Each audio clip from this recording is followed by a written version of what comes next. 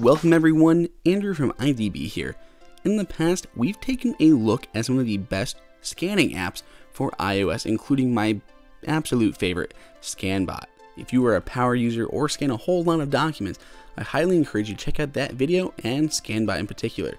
But in iOS 11, Apple has added that functionality natively, allowing you to actually scan documents right into the Notes app with no third party application required. Obviously, there is no less than a thousand reasons why you may need to scan something.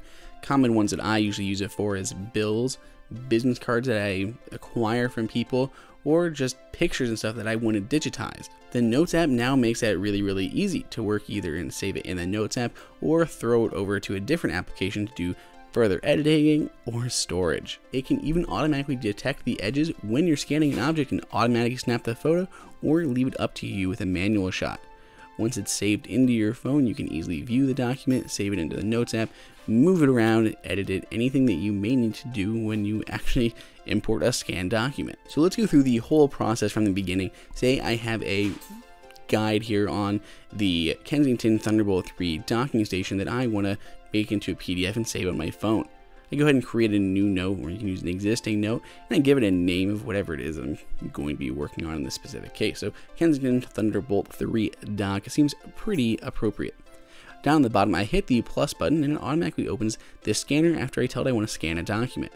I hold it above in some decent lighting and it'll automatically detect the edges and automatically take the photo course, I can put it on manual mode if I want, and I can adjust the cropping later, but it can do all that automatic out of the gate, making it really easy to get started. Along the bottom, I have a few options like the filters, color, grayscale, black and white, or photo. Obviously, all those will adjust the color and make it appropriate for that setting. Photo is really handy, especially if you have some older photos that you want to import into your phone. Notes does its best to automatically detect the edges of your document, but it's not always perfect. That's why you can tap on the crop button in the lower left hand corner and just move the anchor points around manually and it even gives you a little magnifying glass to help you be more accurate. The last simple thing that you may need to do is rotate your image. Maybe it wasn't in the correct orientation and that's no problem. Simply tap on the document rotate button.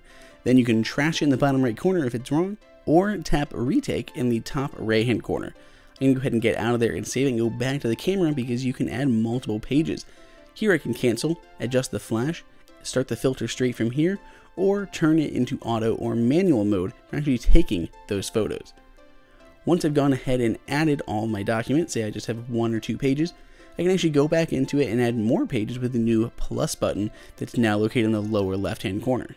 I can even tap on that share sheet button in the top right hand corner and move it around to any number of applications, whether I'm messaging it or emailing it to someone, airdropping it onto my machine for further editing and work, or if I want to move it onto something like Affinity Photo on my iPad and really get in there and edit my photos that I just scanned in. Even multiple pages is no problem and you can swipe through them right from your main note screen.